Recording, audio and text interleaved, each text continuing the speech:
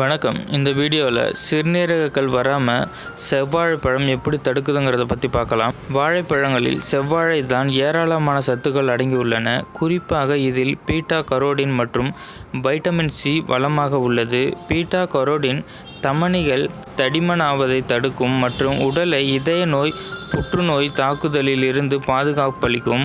Beta carotene உடலுக்கு மிகவும் இன்றியமையாதது. பீட்டா கரோடின் உடலினுள் செல்லும்போது வைட்டமின் ஏவாக மாற்றப்பட்டு கண்கள் ஆரோக்கியத்தையும் நோய் எதிர்ப்பு மண்டலத்தின் வலிமையையும் சருமத்தின் ஆரோக்கியத்தையும் மேம்படுத்தும். செவ்வாழை நீரிழிவு நோயாளிகளுக்கு மிகவும் நல்லது.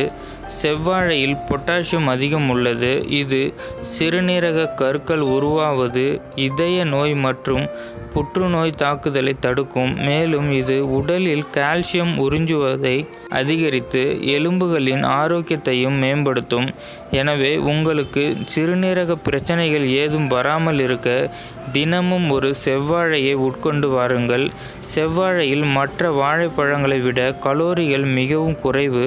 எனவே எடையை குறைக்க நினைப்போர் தினமும் ஒரு செவ்வாழையை காலையில் உட்கொண்டு வந்தால் பசி நீண்ட நேரம் எடுக்காமல் இருக்கும்.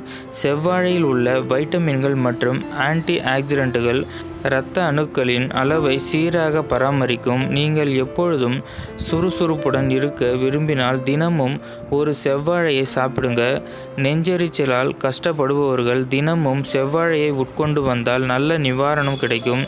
எப்படியெனில் இதில் இயற்கையான ஆன்டி ஆக்சிடென்ட் தன்மைகள் உள்ளது. இதனால் இப்பழத்தை தினமும் உட்கொண்டு வர நெஞ்செரிச்சல் பிரச்சனைகள் நீங்கும். இந்த தகவல் உங்களுக்கு பிடிச்சிருந்தா லைக் பண்ணுங்கள் ஷேர் பண்ணுங்கள் மறக்காமல் நம்ம தமிழ் சேனலுக்கு சப்ஸ்கிரைப் பண்ணுங்கள் நன்றி.